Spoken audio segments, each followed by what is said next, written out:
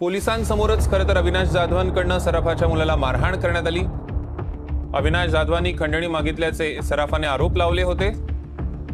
आणि त्यांच्या मित्राविरोधात लोकमान्य टिळक मार्ग पोलीस ठाण्यात खंडणी मारहाण आणि कट रचल्याप्रकरणी गुन्हा दाखल आहे. सराफाकडे पाच कोटी रुपयांची खंडणी मागितल्याचा आरोप. तुमचं मनापासून आभार मानतो की त्याने तो फुटेज बाहेर पाठवलं. मुळात त्या फुटेजमध्ये जर तुम्ही बघाल तर मी सात ते आठ सेकंद स्थिती आहे तेवढ्या भागामध्ये. बरोबर आहे? सात ते आठ सेकंदामध्ये मी त्याला मारलंय. मी त्याला धमकी दिली आहे. मी त्याला उचलून नेणार होतो आणि पाच कोटी मागितले. सो पोलिसांनी आठ सेकंदामध्ये एवढं सगळं कसं बसवलं जरा मला समजून सांगावं. दुसरी गोष्ट ती बाई आतून ओरडत होती की मला बाहेर काढा दोन तास मला कोंडून ठेवलंय. माझ्या दृष्टीने त्या बाईला बाहेर काढणं गरजेचं होतं. आणि म्हणून मी त्याला सांगत होतो दरवाजा उघड. त्याने दरवाजा उघडला नाही म्हणून मी त्याला मारलाय. जर नीट ती क्लिप पाहिली आठ सेकंद नऊ सेकंदाची क्लिप आहे ती तर तुम्हाला कळेल तिथे घडलं काय होतं.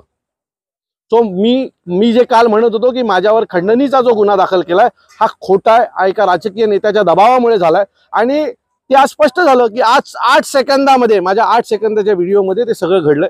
माझ्या दृष्टीने त्या मुलीला आतून बाहेर काढायला काढणं गरजेचं होतं. आज जे पोलिसांनी व्हिडिओ क्लिप बाहेर दिलेली आहे त्या क्लिपमध्ये जर त्या मुलीला बाहेर काढतानाचा पण व्हिडिओ जर दिला असता तर मला आनंद वाटला असता की मुलींनी पोलिसांनी त्या मुलीला बाहेर सुखरूप बाहेर काढलं.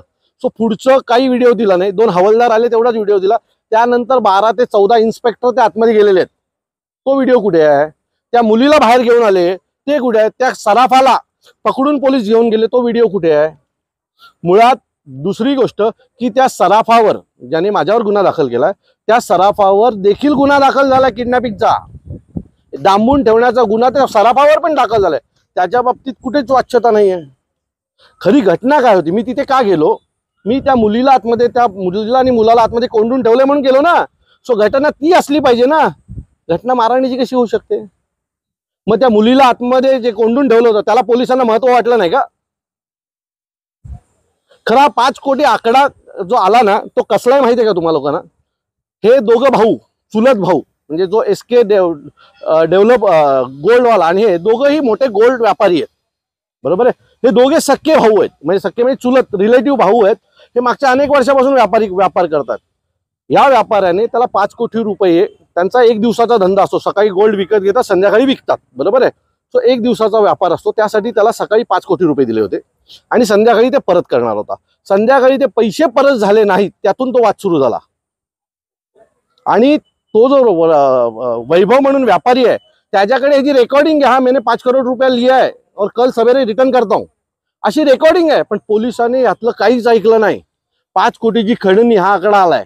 खरं मी ही सगळी प्रेस कॉन्फरन्स घेऊन या सगळ्या गोष्टी त्या वैभवचा आणि त्याचा चॅट तोही दाखवणार आहे.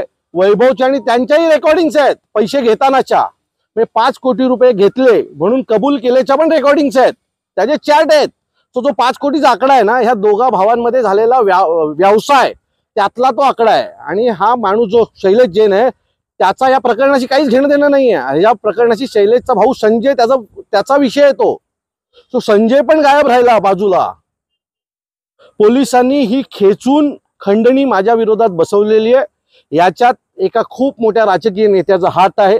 ज्या पोलीस स्टेशनला मी दुपारी चार वाजेपर्यंत म्हणजे मुळात असं आहे की त्या त्या- मुलीला पोलीस स्टेशनला मी घेऊन गेलो. आपण म्हणताय म्हणजे कालही म्हटलं होता की हे राजकीय दबाव दबावापोटी हे सगळं हो त्याच्या मागचं कारण मी सांगतो. कारण ज्या वेळेला मी पोलीस स्टेशन मी ज्यावेळेला पोलीस स्टेशनला गेलो त्यावेळेला सिनियर इन्स्पेक्टरनी मला चहा विचारली जेवण विचारलं आणि तो सिनियर पी संध्याकाळी नऊ वाजता माझ्यावर गुन्हा दाखल करतो.